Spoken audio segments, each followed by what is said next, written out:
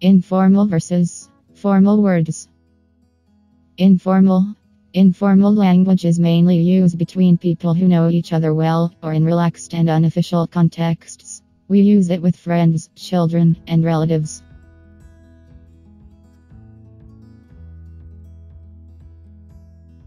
Formal.